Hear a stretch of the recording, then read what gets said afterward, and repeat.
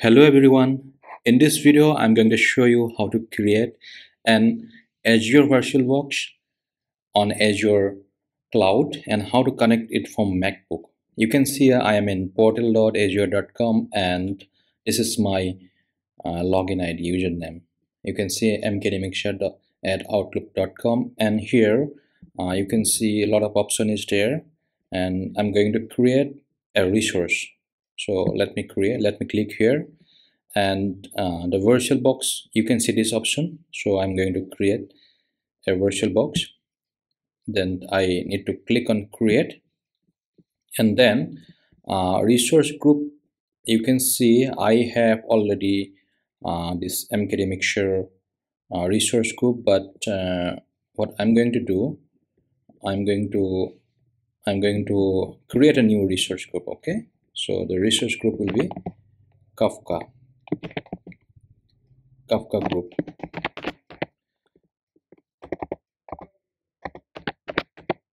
And then uh, you can see on the virtual box I'm going to name it Kafka uh, master. And then the region will be Asia Pacific and availability zone zone 1 so this virtual box uh, it is a standard and here a lot of option is there. And by default I need CentOS based 8.2 uh, second generation. So it's already selected. And if not selected if you need other version then you can go and you can select. Okay? I need uh, the virtual architecture VM architecture 64 x64 and then here on size I need uh, two CPU okay? Since I'm going to install Kafka so I need two vCPUs here for SSH I need a password so my username is Kafka and uh, here is my password. Again I need to type the password you can see it's match. And then uh, here you can do one thing uh, we need http and https and then uh, we need to go next. And uh, on the next no need to do anything for me. And you can see here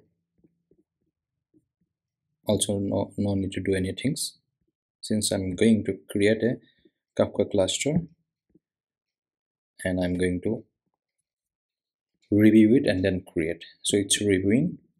So validation is passed. So I'm going to create it. So you can see it's running. Uh, the deployment process is running you can see. It will take 5 to 10 minutes to do all the stuff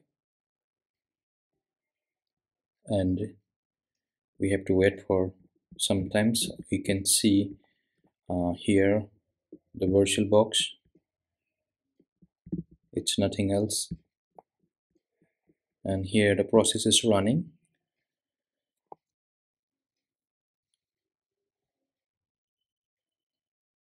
So let us wait for a few minutes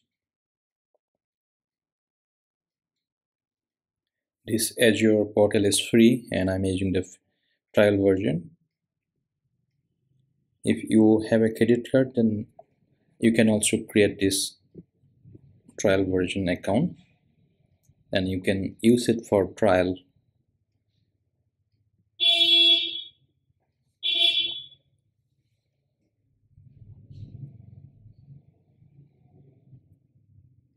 So go to the resource okay it's created if I go to the resource then you can see uh, it's running.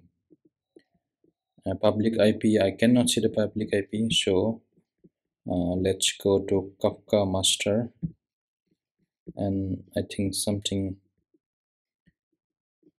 uh, wrong was but I can see no uh, public IP is there. So if I try to connect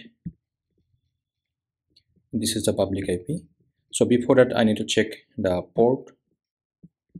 And let me go to the virtual machines once again.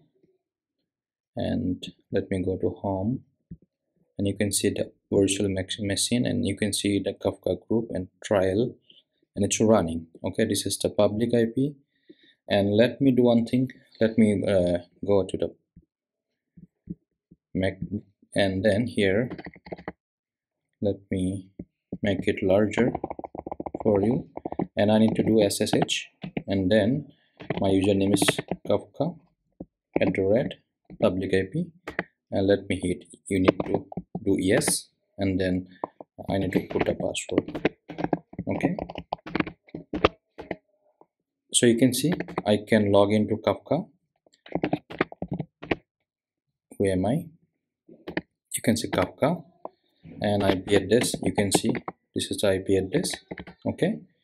So this is how you can you can create a free virtual machine on Azure portal and you can log in from Mac portal.